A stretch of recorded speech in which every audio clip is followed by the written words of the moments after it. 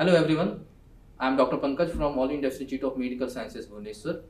We did an interesting RCT in the Department of General Surgery. In next two minutes, me and my colleague Dr. Kallol will discuss the aim, methodology and the results of the FRAIL trial. The FRAIL trial compared to important and common operative procedures for fistula in ano. Dr. Kallol, please tell us about the aim of the study and the inclusion criteria. We designed an RCT to compare lift and ERAF in high type fistula in ano of cryptoglandular origin. Patients more than 18 years of age with high type fistula in ano confirmed on an MRI and with a single external opening were included in the study. All patients received the treatment as per the education group. The patients and the investigation involved in the follow-up were not told about the procedure unless it was requested or the patient had any complication. Dr. Kallol, please tell us about the follow-up results. Majority of the patients could be discharged within 24 hours if the pain was well controlled on oral analgesics.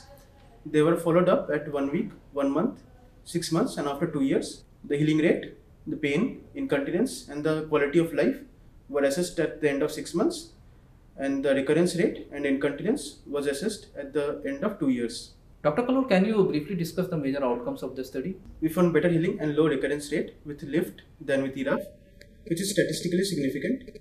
In addition, the median pain score and the quality of life at 6 months were better in the lift arm. Another important finding was the significant difference between the operative duration.